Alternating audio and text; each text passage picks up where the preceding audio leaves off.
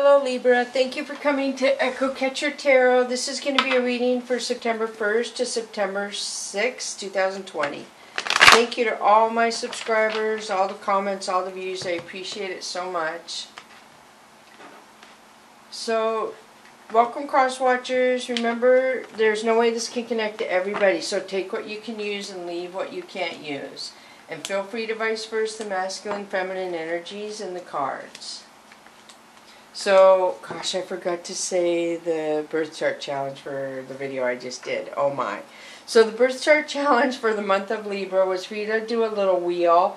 You have a wheel for your birth chart that will show you the houses in your um, chart. So make your own little wheel and insert the houses that are in your birth chart and try and put little um, words, keywords in your little wheel of what relate to you in that house pertaining to you. Instead of looking at it as a general, like make your own little wheel so you know what pertains to you in each house. And you can Google each one to learn if that helps. So another thing, I'm incorporating two new decks into my readings. I have the Earth Wisdom, which is Oracle cards by Barbara Moore and artwork by Cristina Scagliotti. I love these. First of all, they have a plant in them, they have a gemstone in them, and they have a Celtic uh, symbol in them. So I'm learning a lot about the symbols. And there's so many plants I did not even know um, how helpful they are. And then second deck is Tarot Illuminati. Now this is by Erik C. Dunne. It's no way related to the Illuminati organization. He says he wants this deck of cards to mean the Latin term for Illuminati, which means enlightened. So this is an enlightened deck, deck for him. And he says his cards all look like a stained glass window. They're really beautiful. This is one side. I'll show the other side when we pull them. But he has four cultures in his cards, which I really, really, I get so much out of them. It's amazing. He has an Oriental culture, Elizabeth era of England culture, a Persian-inspired culture, and a fantasy culture in his cards. So I just get a lot out of them. So let's go. First of all, I'm going to pull the Earth Wisdom for you. I'll pull three of those oracles for you. So hope you're all doing good. I love these cards too. I just, beautiful. It looks like they have like a tree of life on them. So the first one for you is Blessed Sight 28. So 28 could, if you add the numbers, be an ending, could break down to 10. But let me find 28 and see what it says. So 28 says, Blessed sight, lavender soothes the soul, mind, and emotions. When calm, it is easier to see good in the world, the blessings in any situation, and understand the lessons to be learned. And it says, rhodochrosite is a lovely stone that increases inner strength. Difficult situations are a part of life. While they are not pleasant at the time, they play important roles in our lives, or they can if we have the right mindset. The divine in your inner divine self can see the big picture, allowing you to glean important lessons about life and about yourself. Engaging your divine sight allows a blessing of calm understanding which helps bring things back into balance.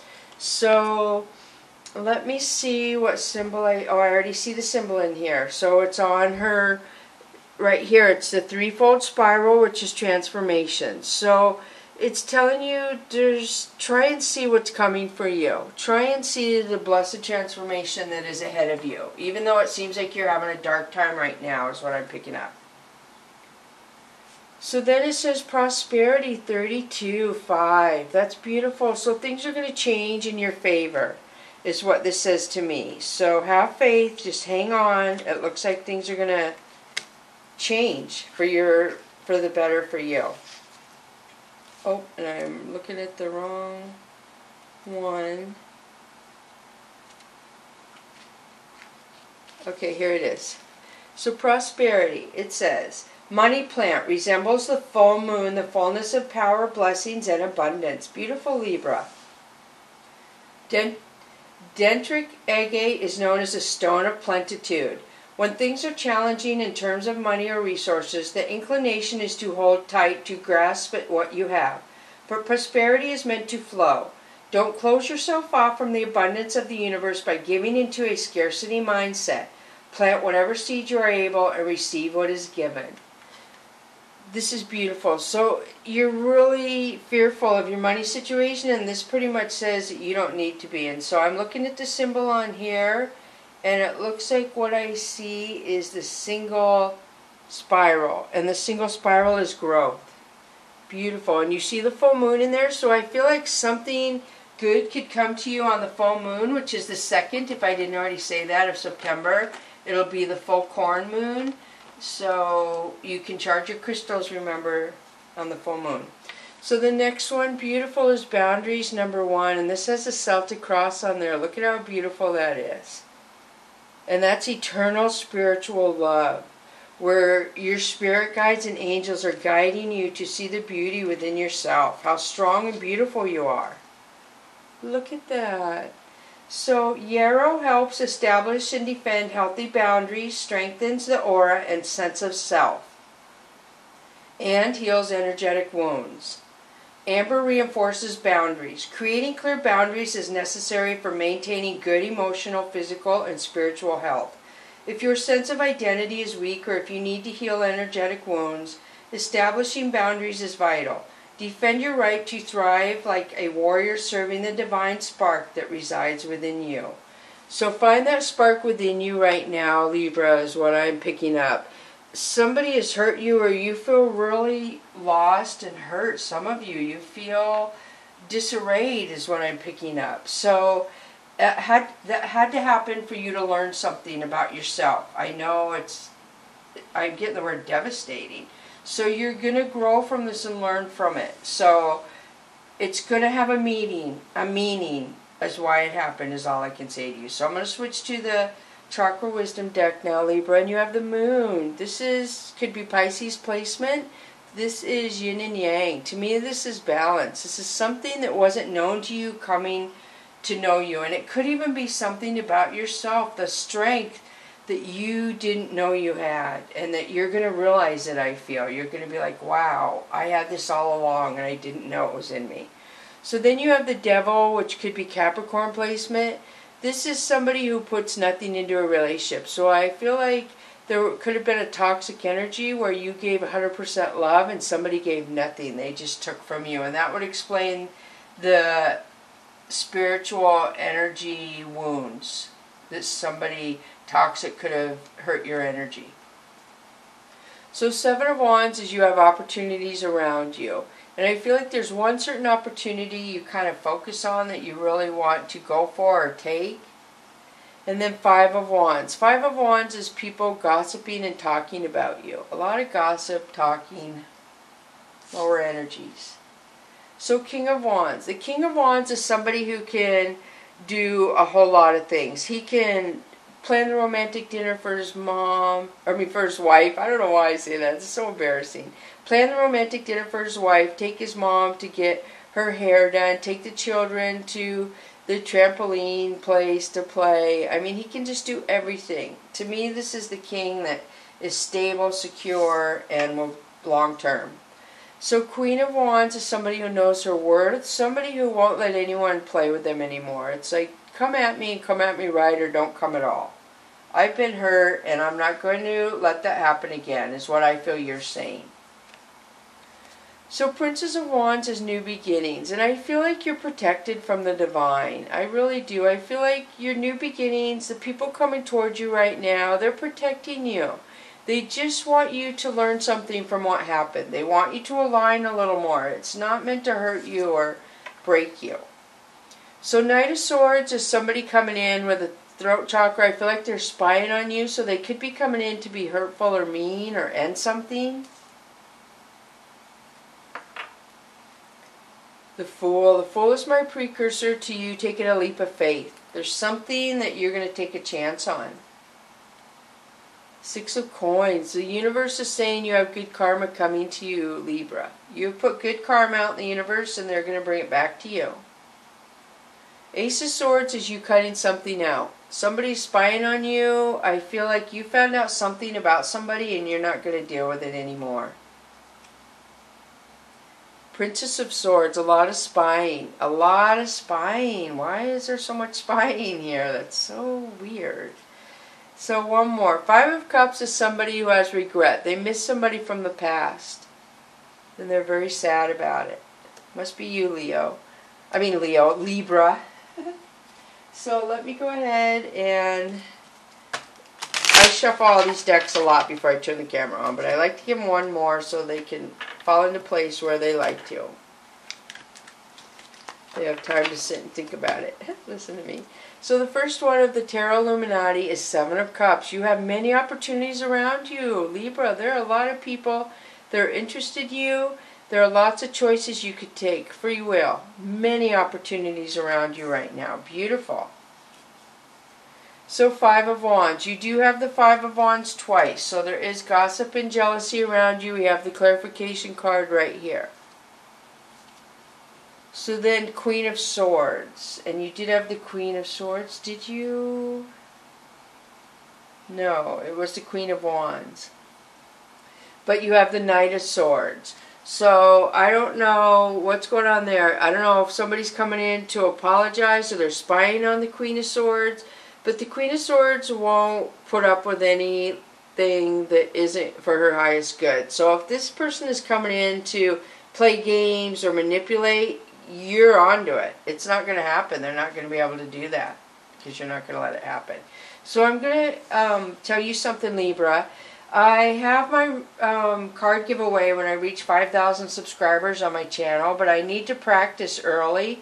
So I want to give away a deck of cards and try a company and see if they if I like the company before I use them for the 5,000. So this is Saltwater Reading Cards by Laura Bowen. She's out of Australia. She's made more cards and she's really into the um, wildlife in Australia. But this deck of cards I've used like four times for myself. I've never used them on my channel. But they're in a magnetic box that closes. And they come with a book and then the cards, of course. So I'm going to give this away. I need you to go into the comment section and put saltwater reading cards because if I just put everybody's name in there, some people don't put contact when they subscribe. Some people don't come to my channel anymore. Some people aren't interested in the reading cards. So that's why if you leave a comment, I know you're interested and I can put you in the drawing and I won't respond to you because when I respond to comments, sometimes they disappear. The comments are really weird on my channel. So I'm going to see it, write it down, I'm not going to respond, and hopefully on September 6th I can do the drawing. But bear with me, it might take a little longer. And hopefully it'll work out good and it'll be all accurate and I'll be happy and I can use that company. So the next one for you is King of Swords. So you have the Queen, oh no, of Wands, you don't have the Queen of Swords, do you? You have the Princess of Swords. So again, a lot of spying. Oh, you have the King of Swords twice. This is what you have. Or no, this is a Knight of Swords. What am I doing? So you have the Queen, the Knight, and the King of Swords. So a lot of spying going on. I feel like the King of Swords is really, how do I say this, a lot of masculine energy coming off him. I feel like he's disappointed. So Nine of Wands is you feeling like you've really had to fight to get to where you are. It hasn't been easy. You are like warrior mode is what I'm picking up. So then you have the wheel. Beautiful things are changing. So the warrior mood, I feel like once you get in there, is going to change your life. You're going to make better decisions that are for you, not anyone else. And five of swords. So you have it twice, right? Or no, you have five of wands and five of swords. So five of swords, yeah, is you feeling like you have to defend yourself. You have to defend yourself to other people. It's crazy how many other people get involved in other people's lives. So Seven of Wands. So this is you feeling like you have to defend yourself again. A lot of defense going on where you feel like you have to defend yourself. That is really amazing. So I think I need to switch to the other decks. I stayed pretty long on that deck. So yeah, let me look real fast though and see what's next. So the hangman is next, the tower. So you're in a delay and I feel like a tower is going to happen to where it's going to push you to change. And then down the road you have two of cups, which is a traditional love coming in, which looks like it stresses you out. But you have the lovers, which could be Gemini placement, and ace of cups. So it looks like you have true love coming to you and somebody traditional. Libra, I don't feel like it's this person you're with right now. I feel like somebody who is going to come towards you is going to do everything correct. They're going to date you correctly, they're going to treat you correctly, and they're going to propose to you correctly. There's going to be no confusion, no playing games, nothing. So the Soul's Journey lesson card for you is denial. I acknowledge my fear, but I replace it with the insight of awareness. So this is your sacral chakra. There's something you're denying, but you're aware that if you change it, it could change your outlook. It could change a lot, and you're aware of it. So even though you're in denial, I feel like you were in denial, but you've come full circle to it. Fear. I realize that I'm testing my resolve to live in the energy of love. So this talks about fear. They both talk about fear. This is your sacral chakra and then your solar plexus chakra. These two. So this says fear and this says fear. So whatever, don't let somebody hold you back. I feel like somebody is causing this fear in you and this denial. And you are stronger than this Libra. Do not let somebody take your power and put fear in you and cause denial. You are stronger than this fear and this denial power, than any of this power anybody is trying to put on you. You are stronger than that.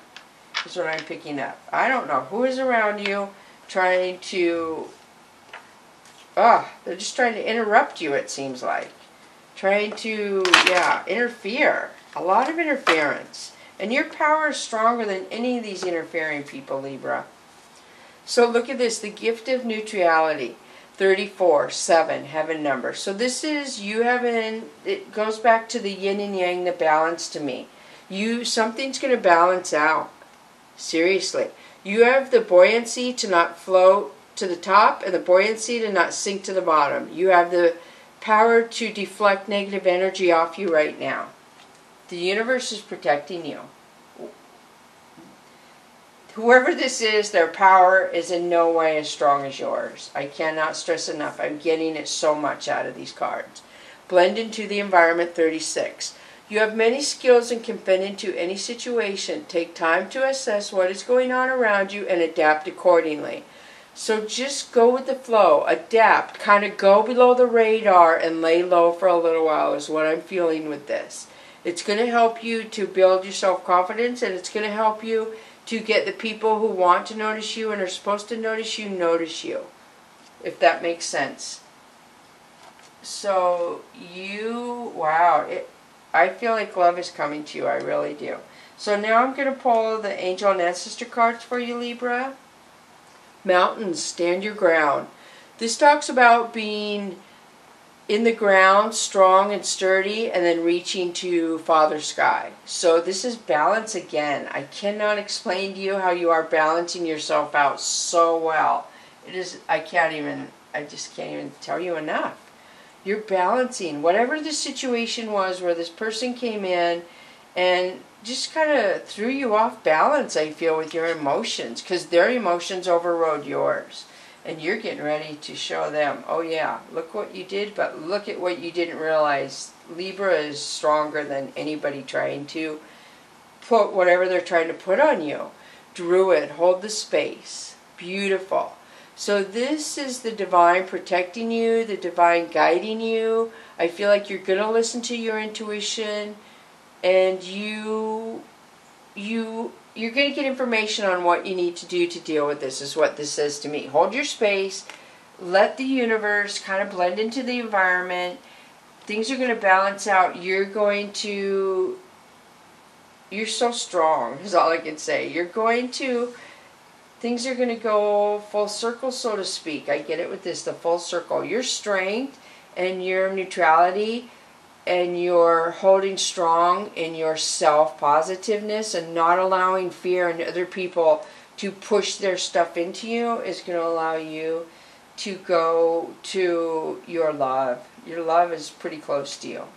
I, I mean, I hate to put I don't even know the time frame. I'm not good at time frames yet in the cards. I'm trying to better myself at that. But for some reason a year is coming to me in my mind, which is a long time for people who want love. I know that is, but a lot can happen in a year. I mean, a lot. So I hope this helps you, Libra. Thank you so much for coming to EchoCatcher Tarot. Um, welcome, Cross Watchers. Thank you so much. Bless you. If you haven't subscribed, please do so. It helps my channel a lot. Bless you, Libra.